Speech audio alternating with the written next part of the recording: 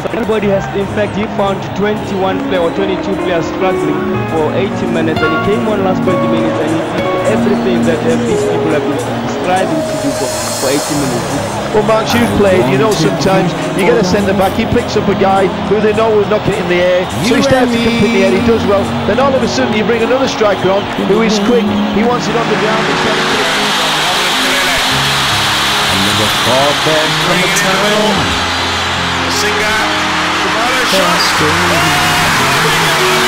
Welcome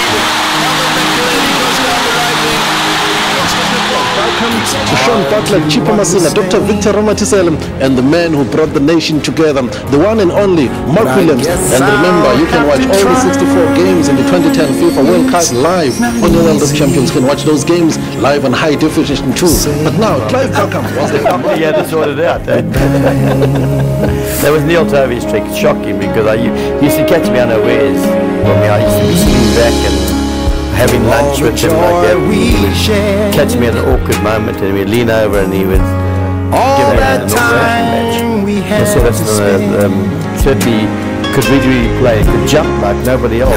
He was only my size, brave as can be, and really a great competitor and fantastic to have him in our lives. that the management structure was quite small. Um, where Clive Barker was the manager and, and goalkeeper coach, which he chose to do. He was the coach and goalkeeper coach. We had uh, Paul Sachedi, who was the assistant coach. And we had Dr. Matisela, who was the doctor. David Becker was the physiotherapist for the team. Yusuf Modisani, who still works for SAFA, was the kit manager. And I was the, the team manager.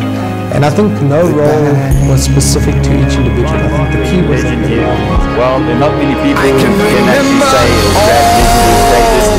certainly Michael, I think uh, you're the one person who, who certainly is there for many memories, some good, some bad. Yes, and through it all, we landed at the same day. And myself and Lucas Radebe and we have to go and play against Cameroon. Stories about Clive.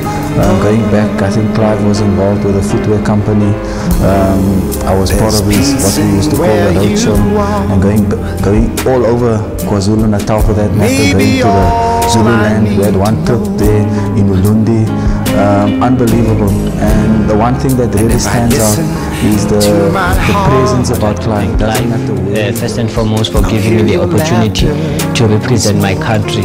And he, since he was the coach, he, he's the one who called me to come and join the national team.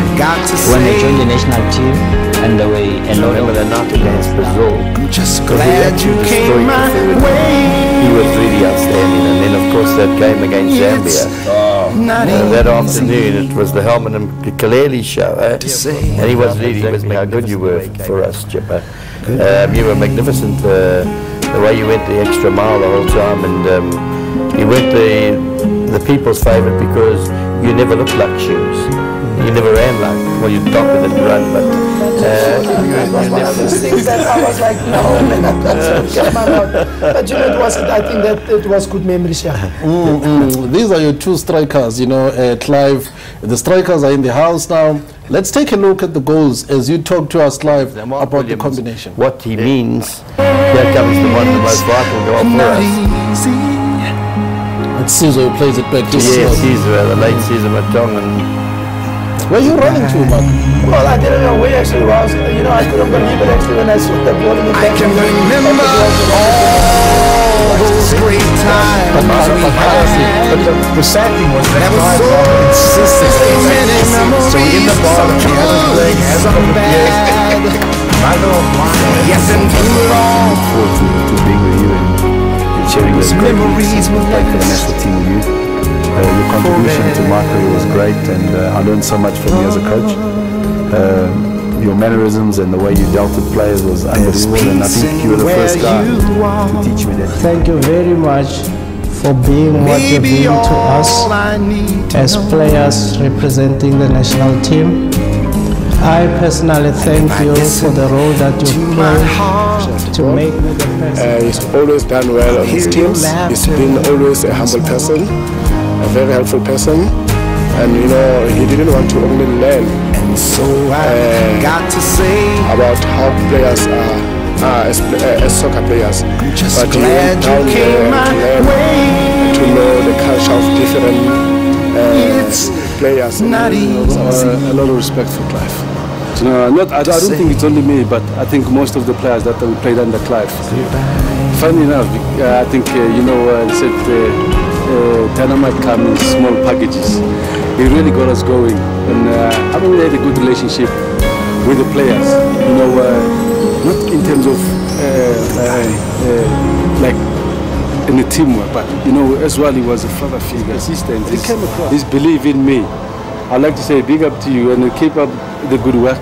You know, we're all looking up to you. We, we, we all uh, have you in high respect, and hopefully you'll come back and help our football to grow. And uh, as well, we, we want to see you there, and uh, we'll be happy as well to join you and help you uh, uh, with your coaching. And I think we'll take as well, you know, uh, a few notes from you. And, You and me. Hopefully, we'll be uh, greater coaches looking after you. Sweet, the dog. I never thought that. Lucas